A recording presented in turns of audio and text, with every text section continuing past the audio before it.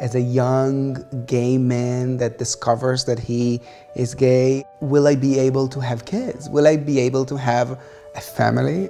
My name is Andrew. And I'm Elad. I grew up in Los Angeles, California. I was born in Israel and grew up there in Tel Aviv. We always wanted to move to the US to be with Andrew's family, but back then, because of DOMA, we couldn't get married and be recognized as a married couple. So we moved to Toronto and we got married a year later we decided we want to go through surrogacy and we started the process. When the twins were born, it was almost like something out of a storybook. And we saw our children take their first breath, their first cry. It was just amazing. When DOMA was finally struck down, our Canadian marriage certificate was now going to be recognized by the US government. Myself as an American citizen was now going to sponsor my husband for a green card. We decided we are ready with our kids to move to the US.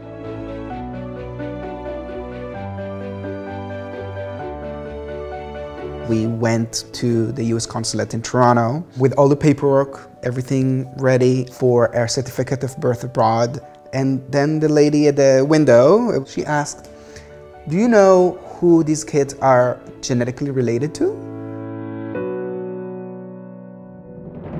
Everyone stopped what they were doing and started looking at us right. to answer the questions while we were holding our infants. We asked her questions back. We're like, what if one child is from each of us? Would that make any difference? And then she repeated the law and she said, yes. If we were a straight couple and I was a, an Israeli woman and both of our name were on both kids' birth certificates, would you ever require us to perform a DNA right. test? Or would you have asked did you use a surrogate? He should be treated as any other child born to a US citizen, like his twin brother or like any other child born to a US citizen abroad. It was just an awful, awful moment for both of us, mm -hmm. for our whole family. Being a father is everything for me. It gives me joy and happiness. It's really important for us that our kids can fulfill their full potential. That's even more sensitive when one twin is entitled to something and the other one isn't. We came to the United States and, and moved here, but one of our sons entered on a tourist visa and he has a tourist status. We want a healthy, happy family. That's all we really want. How am I going to explain this to him when he grows up? You're different than your brother. He's a US citizen at birth. You are not. None of it makes sense. It's not right and we know it's not right.